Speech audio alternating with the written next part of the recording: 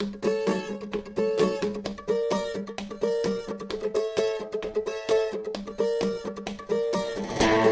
killed my former end, left her in the trunk on Highway 10.